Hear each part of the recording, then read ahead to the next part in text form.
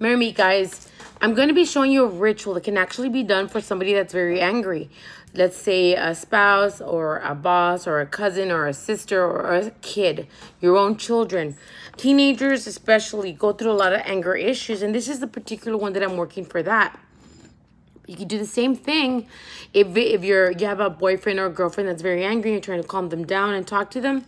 Another thing I want to tell you, if you're working on someone to calm them down, don't pick arguments. So come on, you can't do work and then pick an argument or whatever, right? Just calm. You got to keep them calm whenever you're working on someone, whether it's for love or anything like this or anything at all. So what you're going to need here, you're going to need a blue candle. And I'm using these small little taper candles here. These are perfect for that because they won't burn for a long time. You want to have three of them and you want to work it for three days, okay? And I'm going to tell you what you're going to do. These are already dressed and ready to go. You're going to take your little blue candle. It could be um, light blue as well. This is a little darker. This is what I had, so this is what I'm going to use. And you're going to write the person's name that you want to calm the anger down from the wick all the way down the wick down with their name and their birthday three times. You're going to write their names three times on three candles, and you're going to work it for three days, all right? three, three, three. When you're writing, when you're working on somebody, like right now that I'm doing this work here, you need to put your intention and your energy on it. You're not just to go get a candle, write your stuff down, put the stuff that I tell you, and then just turn it on and expect for a miracle to happen. No, you need to take your time and you need to put your energy on there. You need to focus and actually just enchant the heck out of this kind of work. All right, three days in a row. To the candles, once the names are already written down from the wick going down, from the wick going down, you're going to add essentials, four essentials. At least three of those are important. You're going to add rosemary essential, okay, to clear the negative energy that they may be feeling.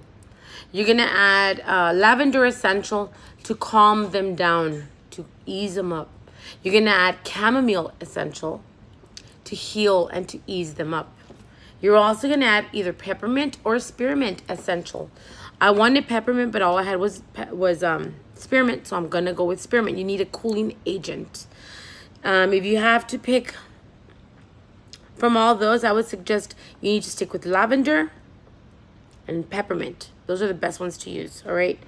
Uh, those will do everything, but I want to just use these oils here because that these are my intentions. Okay, and going to anoint your oils, right? All of them on all three candles. And you're to put your energy and your focus on it. Once you have your oils on it, you're going to sprinkle just regular sugar onto your candles all the way around. And that's how you get this here. So you can see it's covered in sugar. That's to sweeten them down, okay? So you're to light this for three candles. You want to use a white plate, okay? A white plate. Doesn't matter if it's oblong or oval or it's a white bowl. As long as it's a white plate, bowl, whatever. Okay? And we're to light them. Now, we're to be using a lit blue candle that I already have over here. Okay? So let's go ahead and start. First, we're to burn the bottom to stand it up.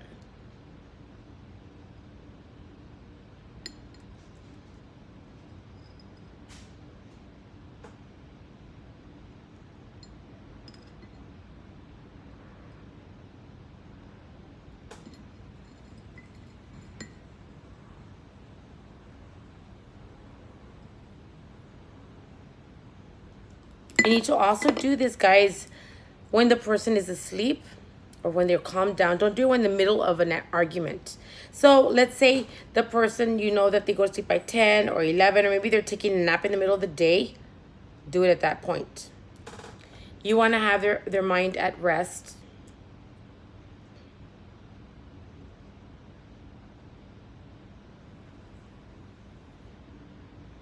There we go. Then we're going to light them. And we're asking for their energy to be calm.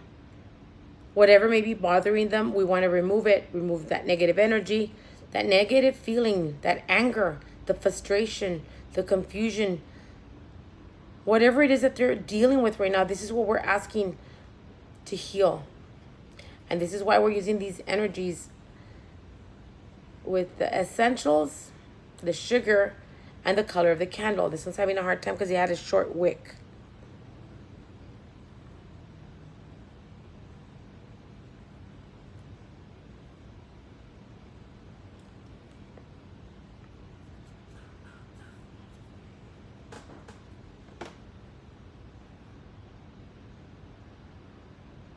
You're going to burn this for three days. This one's going to finish up, right?